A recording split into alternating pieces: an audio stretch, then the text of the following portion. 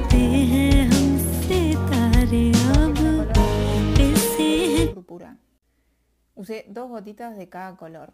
Esta parte la tenemos que hacer un toque rápido porque si humedecemos mucho el color que está de fondo se va a arrugar todo, como me quedó acá en la esquina. Ahora con un rotulador de acrílico voy a hacer la mandala. Me ayudé con un plastiquito para hacer el medio círculo. Y la verdad que me cuesta hacer un poco las mandalas porque no sé qué dibujitos hacerles. Pero bueno, creo que quedó bonita.